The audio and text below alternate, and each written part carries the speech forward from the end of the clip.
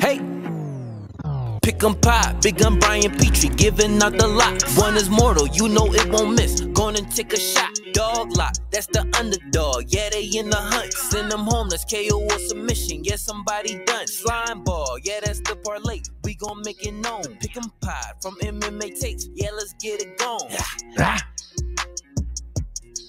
Yeah, yeah. I love the yeah because I clear my throat because every time I start this fucking show, the phlegm comes up for whatever reason. What's up with the what's up? Woo, we got a card. We got a card. I love this card. When when March was coming, March, I told you it was stacked. This main event was really jumped out to me, and I think it's amazing. And a March has been great, right? I was so confident last week, and I did not. I was I'm down from last week, and I didn't hit my marks. I didn't hit my spots. That I, you know, and I was really confident, right? I, I I was going to do all right. This week, not as confident, which might be a good thing. Gambling, you know, positive vibes only. But you know, gambling can get a little tricky here. Now, before we go, I was literally delaying recording this because I was on Twitter in the mud, in the mud with the people. I fucking love being in the mud sometimes. Listen, Colby Covington, okay? Watch your mouth. Watch your mouth. Listen, people, I tweeted out, hey, Colby Covington, tread lightly. People assume that I, I'm going to go handle myself. Listen, Colby Covington is a professional fighter, one of the best in the world. I'm not dumb enough to think that I could kick his ass, okay? But when you come at Jon Anik, I don't care how big you are, how good you are, how tough you are, what your position on this world is. You go at Anik, you get me. And the reason I said that was because Anik's got an army. Anik's got bodies. I just happen to be one of those bodies, 6'2, 276. you know, and Colby Covington has a fucking reputation of going to press charges by getting hit punched in the mouth you know, outside of a restaurant. That's all I'm saying. You threaten Jon Anik, bing, the ears come up. I'm just saying, tread lightly. Jon Anik's got people on him. You want Ray Longo to come knock on your door? Huh? Is that what you want? You want Ray Longo to send some guys down to Florida?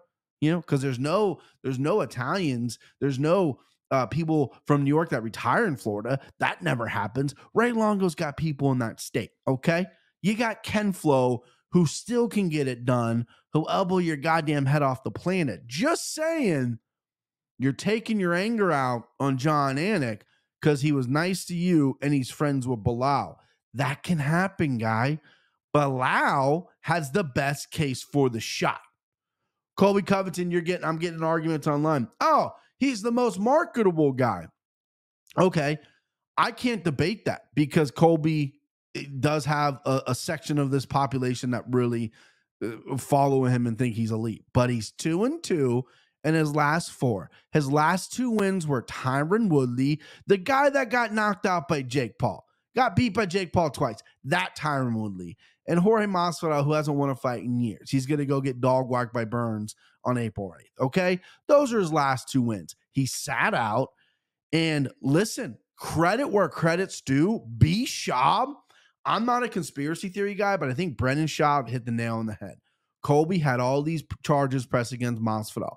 I can't train because I have headaches and I have brain damage because you punched me in the face.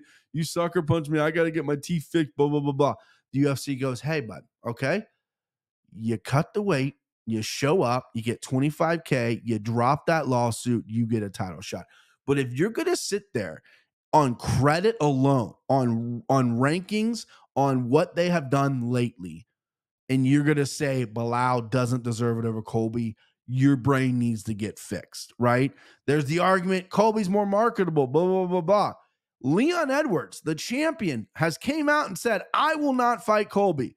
I will not sign that dotted line. He does not deserve it. They did not do that to me. This is Dana White privilege. And he's 100% right. Belal has won eight in a row, main event at two of those, has unfinished business with Leon Edwards. If you don't think this guy deserves it, what are we doing here? Right? What are we doing? Right? I know people are like, oh, well, you're close to Belal. I don't know Belal personally. Obviously, I'm part of the Anik and Florian family. He's a part of that channel as well. I love Jason Anik. I've never met Belal. I've been on the show. But I'm a level headed, reasonable guy. When a guy won eight in a row, beat the next contender of Sean Brady, undefeated, everyone loves, and finished him, yeah, the guy deserves a title shot. Okay. Right? He was fighting during Ramadan, cutting weight without eating and shit like that. I can't even imagine how hard that is. Okay. Belal deserves it. Call me a nutsucker. Say I'm sucking on his balls. Say I'm close with the Anakin, whatever. I'm biased. What? Okay, throw those all at me, but then look at me in the fucking eyes, and you tell me that Belal doesn't deserve it over Colby, based on what he has done. And to steal a quote from my boy, not really my boy, but Dustin Poirier, paid in full. Belal is paid in motherfucking full. So having some fun on Twitter though. Having some fun on Twitter.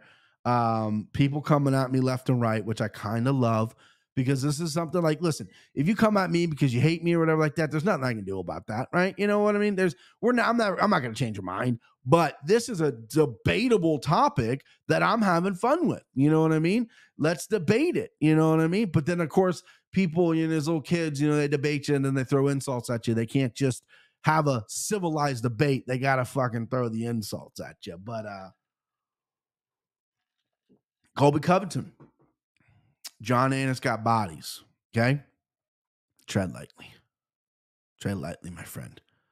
Or you're gonna be pressing more charges. Okay. You're gonna be get really comfortable with the police in Florida after you threaten Jon Anik because yeah, I, I, you know, listen, I know Colby's a character. I think we all, uh, Colby's like the nicest guy in the world, is what I hear. He does a bit. He's on camera. He does this thing. I don't know if the uh, the lines have crossed or blurred. He doesn't really know what he's doing anymore. But everything he says is written. It's an it's an act off camera. He's he apparently the nicest guy in the world. I, you know, he's on MMA fighting with Mike Heck. Maybe that's just something you know that popped in his head or whatever like that. I truly don't think he means real malice towards Jon Anik. I think that's ridiculous. But if he does, tread lightly. I love how it's so funny how people get upset. They're like, "Oh, what you're gonna what, what you're gonna do something?" Well, yeah, me and fucking ten other people, not just me. Ten other people will. Yeah, man. Fuck yeah. All right, here we go. Fight time. We got uh Tamires. T- Tamir, you know what? I'm gonna pull it up on here because my office is a little dark. So I ain't gonna be able to read from my paper all that well. We'll go go stinkology here. Uh Tamires Vidal plus 100 lines moving, boys. Lines moving versus Hailey Cowan. Uh, she is a minus 120. Uh, really surprised by this opening line here. I think Vidal debuted against Ramona Pascual. Uh, Ramona Pascual, excuse me, flying knee knockout in round one. She looked good. Um, you know, there's a lot of labels of her undersized. I think she's explosive. She has good submissions on her record. Um, she looks pretty well rounded for being pretty young. And then you got Hailey Cowan, who's just, you know, prim and proper, pretty girl from Baylor. This is the girl was supposed to fight a couple weeks ago. Athletic, has good, you know, athletic genes, can push a pace, but isn't the most well-rounded fighter. Um, I think I don't know how she gonna win. She gonna take it down. She might get submitted. She can stand up. She can get knocked out. I think she's gonna want to maybe stand up and clinch. That's kind of like these inexperienced fighters do. Is is is they don't necessarily want to go to the ground because you know she's got uh Vidal's got a lot of submissions on her record. So I'm gonna stand up a little bit, right? But then I'm gonna crash into my strikes and we're gonna clinch. I'm gonna clinch you. That's the comfortable spot because I can't get struck from the outside. And uh I gotta I gotta cut this Tapology off because geez, oh Pete Tapology, man, you just you just kill me. I got a I got a fucking beast of a computer, and you are killing me with the just the CPU that you use. Jeez. Anyway, Vidal is a, as a dog here. If you get her at dog money, run and get her at dog money. Hungry dogs run faster, baby. Hello, Hello? that's a hey, dog. dog. I love Vidal here at the spot. Listen, I just think she's warm around. Now Hailey could get it done just be by being the more athletic fighter, right? That we've seen that before, better cardio and and just wants it a little more and, and can really win it a close decision here. I can see that happening as well. But when you're giving me this close of line, I'm going to pick the better fighter, in my opinion, the better MMA fighter. I think that's Vidal. We haven't seen enough of her in the UFC, only round one. Um, I want to see her get extended, maybe she as cardio issues I don't know about, but uh, I think she's dangerous ever. She can knock you out, and she's got some submissions uh, Cowan's two losses do come by submission, I believe. Maybe one was a split, but she has been submitted before. Um, and then she looked good in that first round of the contender series, and then boom. Cliff dove and won a very close split decision. Uh, you know, she was going to get signed regardless because of the cutie cutie nature. Great story, girl from Baylor. We need more, you know, uh, um, athletes from college. We as an MMA need athletes from college who their athletic careers are over and there's really not a pro feature from them. The only pro thing they can do is the Olympics. And when that's kind of over, they still have all these athletic genes. They've obviously been doing this sport since high school. Come over to MMA, right? Come over to MMA. If you get committed to it, that athletic gene can go a long way. For some people, some people can't, but I mean, sometimes it does. All right, next up, Vincia Salvatore minus 115 versus Victor Altamirano. Banger of a fight. This might be fighting that. Listen, Salvatore was my motor lock when he was going to fight in Columbus. Columbus fight fell apart. Uh, great striker, has struggled on the ground, was on the contender series with that wild fight. He threw 69 punches in that first round against Shannon Ross, dropped Shannon Ross like five times. Shannon Ross has already debuted in the UFC. He's been he's been finished to the body, but Salvatore is a legit striker. The biggest problem, the biggest knock on him is obviously if he gets to the ground, it's to be a problem. He you know is very explosive on the ground, but he gives up a lot of stuff. Then you got Victor Altamirano, who who can mix it up, who's landed a few takedowns, but his last two fights, he's, he's been wanting to stand up. He's kind of a wild man. You know, it's Viva la Mexico, baby. This dude's a gamer. This dude comes out and he scraps, got a good record. His losses are close losses, also from contender series. But my initial read is Salvatore's a dog, you know, not really a dog, but he's got that dog in him. And I feel like if this is a stand-up fight, I think Salvatore's gonna pick him apart. Um, I would like to see this guy, Salvatore, that is, show a little bit of cardio here. Hasn't fought in a while. Came out the contender series. Dana White loved him. One of the best performances I've seen. I mean, he looked super sharp and durable. Took some big shots. Flyweight unders are crushing right now. So hammer the under in this fight. Uh, it's early in the week, so I don't have a lot of props in front of me. But the under in this fight is is something that I I think you know flyweight unders is is you know parlay all flyweight unders on this card, right? Just fucking parlay them all. Why not? It's hitting, baby. But I think this is going under. I think both these guys are scrappy. And the only way it might not go under is is Salvatore's never been finished on the feet.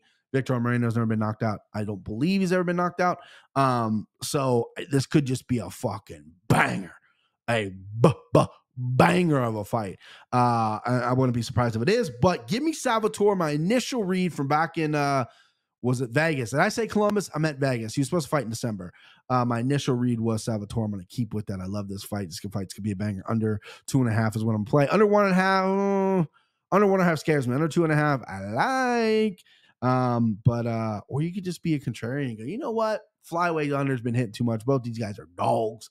I'm gonna hit the over. Probably nice little money, uh, plus money on that right there. But give me Vincent Salvatore. Next up, you got Manuel Torres. He is minus 155 versus Trey Ogden plus 135. Old Trey's the new head coach over in Kansas City, is what I've been told. Decent grappler. Um, you know, he's he's his last time out was so frustrating to me. So his last time out, Daniel Zellhuber, Zellhuber was this up and coming guy, really good striker. Everyone kind of liked him, including myself. He's a huge favorite. He fought Trey Ogden. Trey Ogden landed one takedown, but outstruck him 71 52. Zellhuber froze. Did not want to get into a firefight with Trey Ogden for some reason, who's primarily a grapper. His takedown accuracy is 15%, which I don't love. He's only landed two takedowns in the UFC. He landed one on Jordan Levitt, which a fight he lost by split decision. He got outstruck in that fight, and then he landed one against Daniel Zellhuber. But Zellhuber, Zellhuber, why do I keep I keep saying his name ten different ways? Um, he got back to his feet. Now you enter Manuel Torres. This guy just, you know, he just knocks people out. He no fucking deads them, right? Don't know if his skills are limited or if he's if he is that good, if he is that potent finisher. Because Trey Ogden's never been knocked out before. Trey Ogden's, I, uh, you know, Daniel Zellhuber was a very good striker, is a very good striker, and Trey Ogden like froze him, right? I don't know if that's because Zellhuber's young or the moment got to him. Don't know if it's gonna happen with Torres. Torres, I think, is the better striker, the more powerful guy here. Ogden's not a bad dog play. You know, if you want to reach for Ogden because he can lean on the grappling, even though his takedowns haven't been all that successful in the UFC, they actually haven't really looked all that good either. But he seems to be a strong guy. His cardio is shored up. The problem is he might be carrying the weight on the shoulders. I mean, James Krause built that fucking gym in Kansas City, and now he's gone allegedly. And Ogden's in, and it's like, okay, I'm coaching and I'm fighting now. You know, that sometimes doesn't mix, or it makes a fighter better. You never really know. There's always what uh, you know, fine line there. Ogden's been around forever. He's got a million fights. Manuel Torres, though, big, powerful guy. I'm gonna lean Torres here. I just think he's better everywhere. Cardio. Always bet cardio is what my guy Christian says, and it's very good. I say oh, ABT always bet talent. I think Torres is a more talented guy, but that cardio can loom heavy if he doesn't have any. Um, and let's just say he does. He has a 100% takedown defense, which is nice, but he hasn't really fought too many grapplers. You know, he fought Colton England on the contender series, knocked him out. Then he fought uh, Frank Camacho, knocked him out in the first round, right? Not a lot of guys are going to be jumping for takedowns. He touches people, he deads them. That's another, you know, obviously, you know, when you're capping a fight, you got to be worried about that. Is like, oh, this guy, he touches you dead. But if what if Trey doesn't die, right? What if Trey doesn't eat that shit like was fucking Sunday lunch? and then he might be a little worried, like, oh fuck, right? You know, so there's always that uh, case in here too. But I'm gonna stick with Torres. I don't love him. I'm not overly confident. Trey's never been knocked out, so I think the knockout number might be a little okay. The finish number might be okay. Trey has only been finished by submission, which I don't think Manuel Torres is gonna do. Could be wrong. Maybe play it by submission. Maybe you know, fucking club and sub, baby. Club and sub could happen here. Uh, yeah. So next up, CJ Vergara minus 255 versus Daniel De Silva, Daniel Lacerda, Daniel Brazil. This guy's got fucking 20 last names. I'm going to go to Silva because that's what it says on my paper. You got CJ Vergara, who has not really entered the UFC on fire, right? This dude was a flashy striker outside the UFC. Debuts on the contender series against Bruno Correa, knocks him out with a knee round one. Beautiful knee, you know, debuts against Eddie Osborne in the UFC, right? Falls a little short, even though he outstruck Ode. Ode got that takedown. Um, you know, it was it, maybe was a, a, bad decision. I haven't rewatched that fight. I did rewatch his fight against Clinton Rodriguez. He out, he got outstruck by Rodriguez and got taken down multiple times and won that fight by split decision, which was another weird decision. But then he got finished his last time out by Tatsuro Taira, who I think is a legit fucking prospect. Then you got Daniel Lacerda, Daniel De Silva, Daniel De Lewis. This is probably Daniel Day Lewis, you know, just researching a role. That's why he's fucking 20 different names. Uh, you know, knocked out bi Jeff Molina, knee barred by Figgy, Francis Francis Figgy, Little Figgy, and then Victor Armano knocked him out in uh, all in round one. Round two was Jeff Molina. Jeff Molina, if you remember that fight, uh, you know, Jeff Molina came out as by. And guess what? I don't care. Mm, suck as much dick as you want. I don't give a fuck. Um, I have not seen the video. I do not want to watch the video. That's just, you know, not my cup of tea, but you know, do you? But uh listen, Melina Melina knocked him out, but that first round was wild. And you look at Daniel Silva, CJ Vergara is a good striker, came in the UFC is a good striker, has some trouble in the UFC, hasn't had the best record in the UFC, but is is a good striker. Comes out of Pete Spratt's camp out of there in uh I believe he's Pete Spratt's camp out of uh Texas there. And, and he's good. I think he's good. His, his pre UFC days were a lot better than when he's shown the UFC. UFC jitters, you know, jumping talent. There's a lot of factors I could play in there. Then you got Daniel Silva. This guy just doesn't go to decision ever, ever. So, whoosh, woo, green hammer, baby, green hammer play. Now, I do not have the props right now. When I edit this video, I'll slap the props in because hopefully they'll be there by this is Tuesday when I'm doing this. But CJ Vergara by knockout. You can go round one. That's a little that's that's going to be a little uh risky. I would go CJ Vergara by knockout. That's the green hammer play. Mini green hammer play, which my kids have the mini green hammer. This came in a pack of three. Mini green hammer play, which is what I'll be playing as well. Under. This fight doesn't go to the distance. This is an under play. Under one and a half, two and a half, whatever they said it. Under Vergara knockout green hammer play. Again, hopefully I'll put it on the screen once uh once those lines are available, not available to me right now. But the green motherfucking hammer, three and one in the year. I think that might be a plus number because Vergara does not have a knockout in the OC besides the contender series.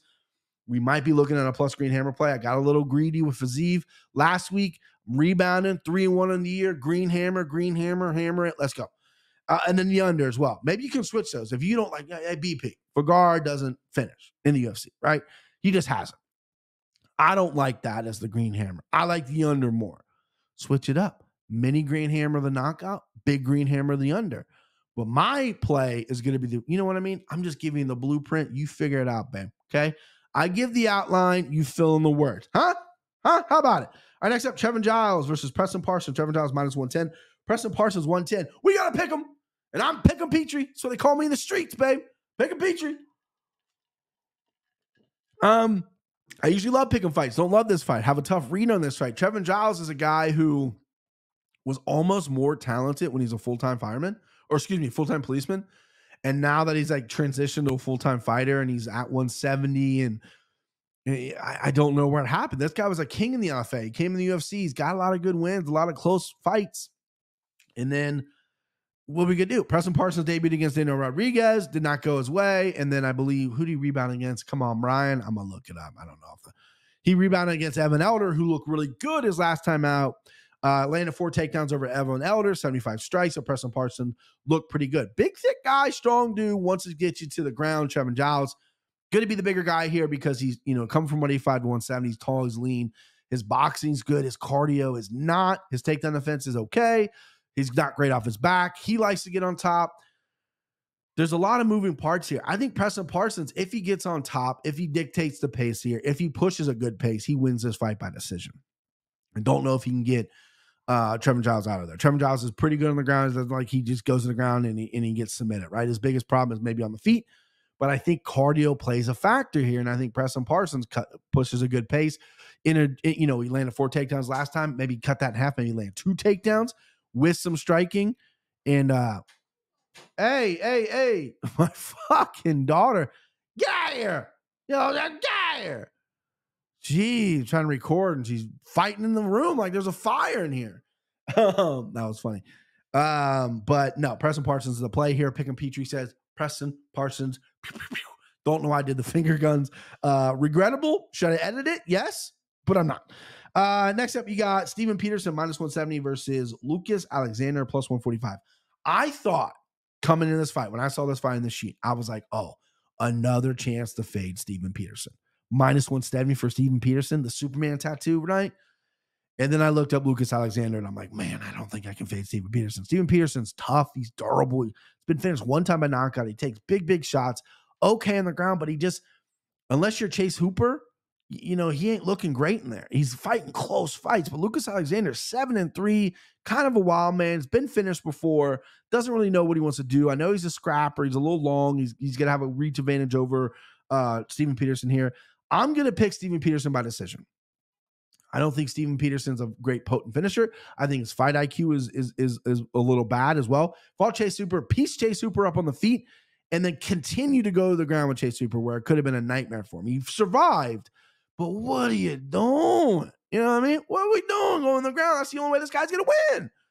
Huh. So give me uh Steven Peterson, complete pass, not gonna touch this fight. Maybe over Maybe we'll go to decision. Lucas Alexander is a little bit of a wild boy, a little bit of a wild boy. Um, but I like Peterson here. But you know, this scares me. This fight scares me. So when I get scared, I back away. This isn't a pick and Petrie fight, so I'm backing away. But pick is Steven Peterson, Superman on the chest. Let's go. Next up, Daniel Pineda versus um, but, but, but Tucker Lutz, Knucker Tuts, Knucker Futz. Tucker Lutz from Baltimore, not Oklahoma. I discovered that last podcast. This fight screams Tucker by finish, but he doesn't finish many people. He doesn't finish anybody in the UFC. He doesn't really look good in the UFC. Daniel Pineda has been around for two million years, right? Long time fighter. He's fought belts, he's fought PFLs, on the UFC. And everywhere he's gone, he's been busted with some kind of steroid thing. This guy's got the fucking juice in his veins. So, assuming He's been off for a year, two years. I think it's going on two years. He's been off after the eye poke with Andre Fili, where he gassed hard in that fight. But assuming this guy is off sauce, he's going to come in. He's going to give a good first round. He's a strong, well built guy. At least he used to be. He's going to come in, give a good first round, and then he's going to fade. And I want to hammer Tucker nuts so bad by the by finish. But let, us look at his record.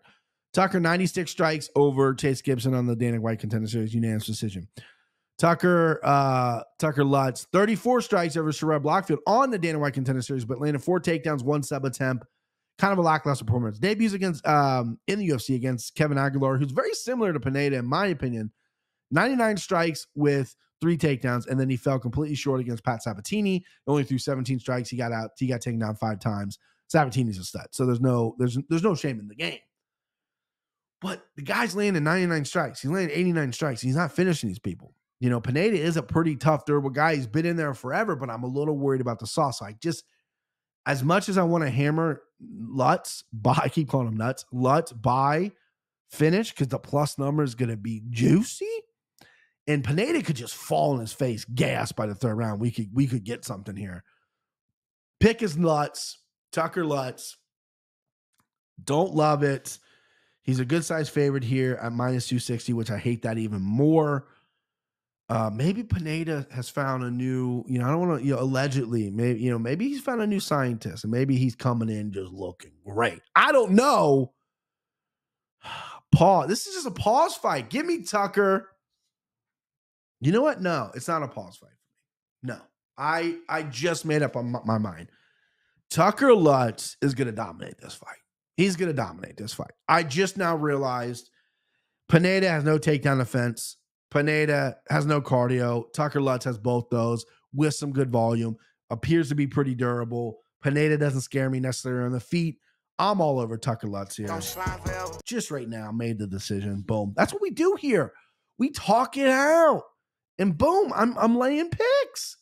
I, you know, scare money don't make no money, baby.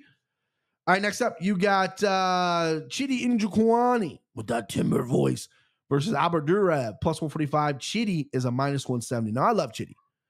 I love his brother Anthony Njokuani. Uh, legends, early, early, early legends, WC, early UFC. Very good strikers. Chidi's big for this division. I loaded up on him. Uh, oh, Twitter going off. Let's see. Uh, yeah, okay. There we go. More, more Colby stuff. I love. ah, Chidi kind of made me lose my shirt a little bit in his fight with Robocop. I was fading Robocop because of that chin issue. Finally paid off his last time out, but Chidi landed that elbow, put a fucking big gaping vagina on his head, and then Robocop, and then he gassed and Robocop took over. I mean, Chidi, that's his problem. You get him to the ground, you start making him grapple a little bit, you start filling up those muscles, you know, with some blood and stuff like that, and then boom, he he kind of collapses on you. He's not built for three rounds. He wants to put you out. Albert Duraev wants to get you to the ground. He's a wild striker on the feet. He's going to be undersized here. He's 5'11 or 6'3. Reach, you know, Chidi's got him, obviously. But Duraev can get in, use that size advantage to him. The smaller guy get on the legs, take you down.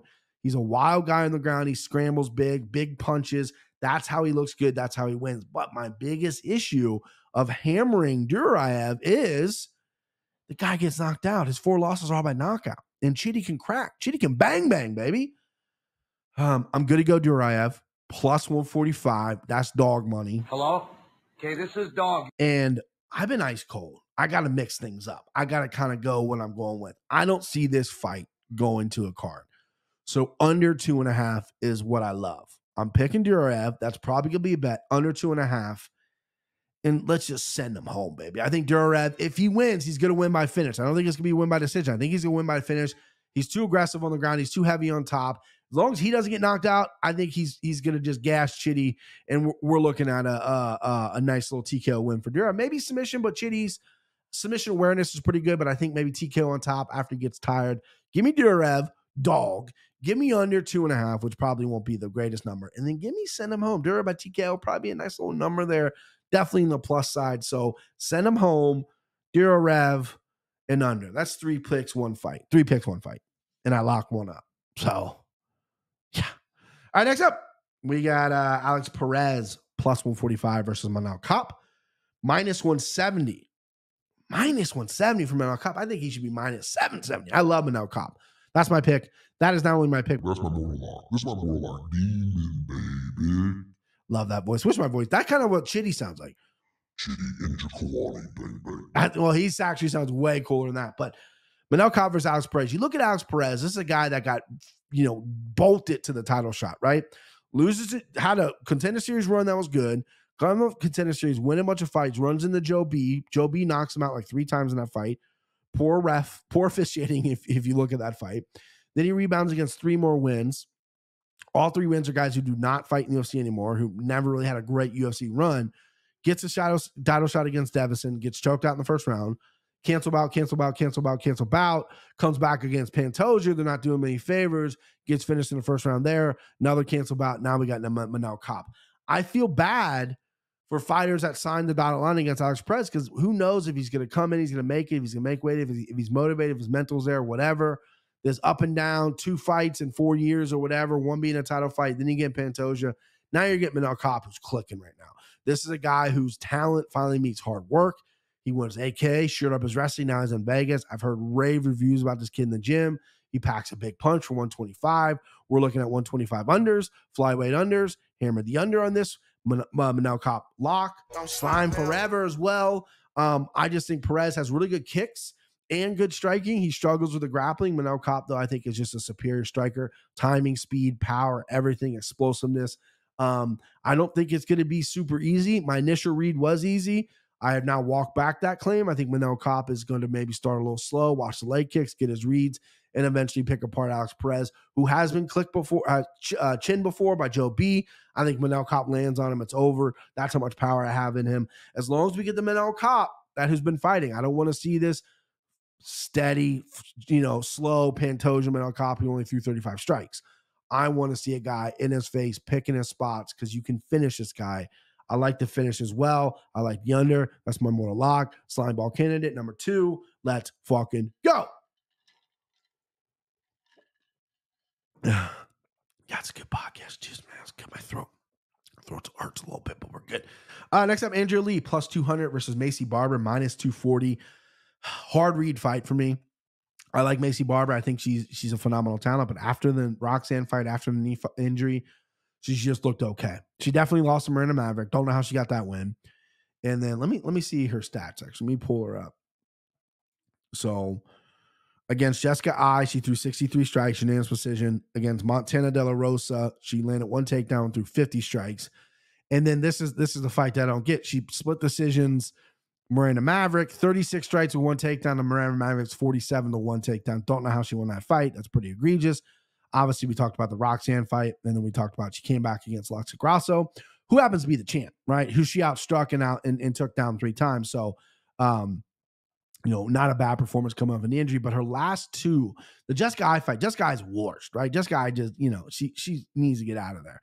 Um, and I feel like she looked okay, but didn't look great. This this young girl who was going to be the youngest champion in the UFC. I, you know, I was, I was, I was ready for that. And then, I, you know, the knee injury happened. I think, still think she's kind of getting her confidence back. She's going against Andrea Lee, who is a volume fighter. She she throws out a lot of volume. She gets taken down like nobody's business. I mean, uh, you know, she got taken down Viviana Araujo last time out three times. You know, she beat up Calvillo, but Calvillo got her once. Roxanne Modafferi got her four times. Lauren Murphy got her two times. Joanne Wood got her two times. Montana De La Rosa got her five times. I know these are going back a lot, but if Maycee Barber wants to grapple here, this is a good path to victory for her. So I'm taking Maycee Barber. I think Angela Lee is obviously getting better. She's shoring up her game. She used to kind of quit in fights and have some gas problems.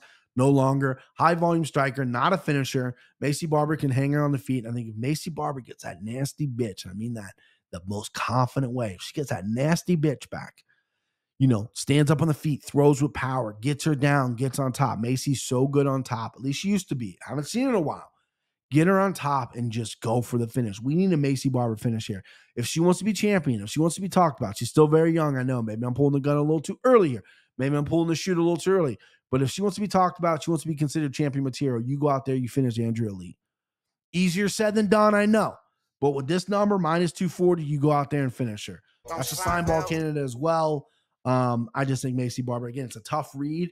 But if she shows up, the Maycee Barber that we all kind of know, there's a path of victory and it's an easy one. Maybe not easy. Easy is a tough word. Next up, Nate the Train, baby. Minus 265 versus Austin Lingo plus 225. So, first and foremost, Nate's a little high for me, right? Nate, Nate's number is a little high, but I love Nate the Train. I love him so much. He's on the board. Hey, hey, Nate the Train, baby. Nate the Train, baby. Uh, this could be maybe one of the fights of the night. These dudes do not take a step back. Austin Lingo, don't think he has the most polished striking. I think, you know, maybe, uh, you know, he's a little wild at times and et cetera, et cetera, but, you know, doesn't take a step back and neither is Nate the Train. Nate the Train is a well-rounded guy. I know, you know, you, you know, Hey, hey, Nate the Train. That Clarksville, Tennessee, baby. Uh, this dude is is legit fireworks on and off the mic. My only concern, right? Because this is a I'm slime ball candidate. I love Nate. I'm picking Nate. My only concern is sometimes when Nate fights a guy that maybe he sees beneath him, right? The, he needs a little bit of that fear to bring the confidence out. Onama, super confident. Onama's a killer. Beat him. Ludwig Klein going into that fight, super confident because Ludwig Klein was a fucking killer. Big underdogs in both those fights, and he wins, right? Then you get the Herbert Burns fight, and Herbert Burns is not the best fighter in the world. He goes out there, gets knocked out, right? First time in his career, got knocked out. Then he goes against Julian Erosa and just goes out there like a freight train, Nate the Train, baby, and runs into those big, big hands of Rosa, and Rosa can put you out. Rosa, a very good fighter. But if he really is locked in against Austin Lingo, right? Boxing, I think Lingo's going to have a speed advantage. I think Nate's the fastest guy. I think Nate's very good in the clinch. He makes it ugly, right? I think Nate can mix in some takedowns, but it's going to be pace and cardio. Nate's going to be in his face the whole time. Smart fight for Nate Landwehr. This is a Nate Landwehr uh, decision victory, in my opinion. If you look at his record, what he did in Russia, I mean, him and Movsar Evloev were supposed to fight in Russia. That was the big fight. They both got signed to the UFC. Um, but yeah, he killed it in Russia, Nate did and uh, you know, came in the UFC with a little bit of hype. I was hyped on him, you know what I mean? And then it just fell a little flat, but now he's starting to show his own a little bit. Got a couple wins. The the jitters are off. He's been hurt before. He's rebounded. You know, Onama almost had him out. Now he's rebounded well off that. You know, the chin isn't what it used to be. He's at MMA Masters, looked to be incredible shape. His cardio is elite. Give me Nate the Train here, and we're gonna play it one more time. Hey, hey, Nate the Train, baby. Nate the train, baby. Uh, slime ball candidate, Nate the train. I like it probably by decision. Lingo is tough. Uh, and Lingo can make this ugly because Lingo does have some decent power. I just haven't seen it in the UFC yet. Uh, but yeah, I mean, I can't, I'm not gonna I picked against Nate the train enough. I whale played max bet David Onama, not doing that again. Uh, give me Nate the train, baby. Even though I do personally, Nate the train love aside, the line is a little high for me. All right, next up, co-main event, Holly Holm minus 215 versus Yana Santos plus 185, plus 190. Again, all these lines are moving all over the place. I got these, you know, again, it's early in the week. Um, this fight threw a pause at me. I really want to take Yana Santos as a dog lock here, right? I really, really want it to. Maybe not dog lock, a dog shot, I should say. Um, I really wanted to, but I just couldn't because I just feel like sometimes she just doesn't have it in her. And she's coming up, and she's got those super mom strength now. Coming off, you know, she just had a baby. So she's got those mom strengths, which I love, right? She's gonna be a better fighter from that. You know, women are superheroes. But Holly Holm, 41 years old, has not looked good in her last few fights, but she throws a lot of volume. Her Ketlen Vieira fight, I hated that fight. I thought she won, but you know, what are you doing clinching all that time? You are one of the best female boxers in the world, box. You're a kick, female kickboxer world champion, kick. You're an MMA world champion. Learn how to mix it up better. It's almost like she's regressing or or she's doesn't have the confidence in herself. But Yana Kunitskaya, kind of a wild fighter, but if you get her down on her back, it's a problem. Yana Kunitskaya, excuse me, Yana Santos. How dare I? She's married now, right? So she got completely knocked out by Irene Aldana. Irene Aldana is a stud. She beat Ketlen Vieira. Ketlen Vieira threw seven strikes in that fight, landed three takedown zone. Uh, Kunitskaya, she, fuck, Santos landed 47 strikes. Santos uh, beat Julija Stoliarenko. Aspen Ladd landed two takedowns and finished her. Marion Reneau landed a takedown. Uh, and then um, and then uh, Cris Justino or, or, yeah, fucking Cris Justino you know cyborg completely blitzer. She got kind of fed to the wolves in that fight, but her wins: Lina Länsberg, okay, outstruck her, landed some takedowns, submission defense, no finish against Mary Reneau. Again, both women that did she just fought on the older side, 98 strikes, staying busy, landed one takedown, unanimous decision. Got finished by Aspen Ladd, got taken down, got on top, got beat up. And then you got Julija Stoliarenko, again, not the best in the world, has an armbar. That's it, 43 strikes to six. And then Ketlen Vieira, who threw seven strikes, but three takedowns. That is a crazy stat. And then she got knocked out by Irene Aldana. Holly Holm should be looking at Irene Aldana fight and go, I can do that. I can knock her out. I might not have as much power as Aldana, but I have the technique. So I'm going Holm here, but I don't love it. I mean, my initial read is Holm. I'm sticking with my gut. I love the dog shot here. I see people in the MMA takes uh, betting group already taking some shots on Santos here. I don't have the nuts on the table yet, so I'm gonna go Holm by decision. Uh, slime ball. I think she can make it look easy if she's dialed in. She is 41. Cardio still elite, but the fight IQ and the way she's been fighting, I don't love. But if she fights smart, I think this could be an easy win for her. All right, next up, main event, baby. Chito Vieira plus 150 versus Corey Sandhagen minus 175. I mean, you just you just don't get a better main event than this. Sorry, my Twitter is is a buzzing. Uh Eric Thizzle. I guess I won this argument. Hate this motherfucker, man. Joe Carroll, my boy. Um, yeah, Anik must be checked at all costs. Chimaev is the hero we need right now. Smash this boy. I love it. What a prick. What it can't be controlled. Yeah. So a lot of I mean, you got a lot of people pushing back on me. Again, I don't mean I'm gonna go to Florida and fight Colby Covington because I'd be stupid. I would. Jon Anik, listen, swear to God, Jon Anik calls me right now and goes, Hey, BP, needs to fly to Miami. I need you to sit at my house. Colby said he's coming tomorrow. I need you to be the, the big body until I get, you know, till I can sort it out or whatever the fuck, right? I'm taking that hit. I'll get the shit kicked out of me for Jon Anik. You, what he's done for me, oh, bruises heel, baby. I'll get the fucking piss beat out of me. I don't give a shit. Woo! All right, main event. Chito Vera, Corey Sandhagen. Um, man, I love this fight. I love this fight. A lot of people on Sandhagen. Sandhagen looked really good physically, cardio wise, mixing everything up against Song Yadong. Didn't land a lot of takedowns, but he went for a lot of takedowns, which is nice. Chito Vera, what is Chito's takedown offense? Because I feel like it's probably like 20%. Takedown offense, 68%. So way better than I gave him credit for. I just feel like Chito's such a guy that goes with the flow. You want to take me down? Cool. I'll work on my back. I'll, I'll use my elbows. I'll work my way to the feet. Use that. He's so patient and flowy in there. And it could get him in trouble one day because he he's losing these fights and then he comes back and wins. Five round fight favors Chito Vera. But Corey Sandhagen, Rob Font outstruck Chito Vera, right? But Chito landed the more impactful shots. Corey Sandhagen is super active, outstruck Petr Yan. I think he's going to outstruck Tito. Chito, excuse me. If Chito can't land that big shot and finish Corey, I think this is going to be a, a layup decision win for Corey. He's not going to finish Chito. Chito's too good but this could be a layup decision win for Corey. But Chito's built different. If you look at Rob Font, you look at Chito got hit 271 times, barely had a mark on his face, barely sweating in that fight against Rob Font. Rob Font got hit like 100 whatever. I mean, his face was falling off his face. I mean, his, his face was falling off his face. Chito's different. Leg kicks are different. I think he's going to utilize all that, slow down Corey. Corey's going to win these early rounds, though. Five round fight. We got some tricky judges. Do you want to load up on Chito? Mm-mm. You know, final fight of the night. So there's hedge spots. There's, you know, if you have parlays, you have this, you have that. There's options here. I think this fight goes to a decision. I think it's going to be razor close. Chito's been on the wrong end of a few decisions, but I think the judges are now really scoring damage above everything else. And I do think Chito's going to be damaging Corey more than Corey's going to be damaging Chito. Chito's got, or Corey's got some great striking, but it's not as impactful as Chitos. Chito hits you, you fucking know it from the legs, the body, to head. So razor close fight. I love this fight, but again, you gotta put the nuts in the tail. Hello? dog lock. Okay, this is dog. Yeah, that's a dog. Give me Chito from just overall toughness, durability, and more damage. But I do think it's going to the decision. So the over four and a half is a great play, in my opinion. Um, yeah, I'm excited. This is this is high, high level fight right here, man. I can't fucking wait. But uh Chito, uh, and I think Chito wins. I mean, 135 is so log jam. You got Sean promised the title shot. I love to see Chito Sean run it back. I think Corey's got even if he wins this fight, I think he's gonna have to win maybe one more with the way Merab's up there and the Moray, you know, Cejudo and, and Aljo and all this shit. Um, either way, incredible main event. All right, so let me give you my locks before I give you the slime ball lock, dog lock, Chito Vera. Just gave you that one. Motor lock, Manel Kape.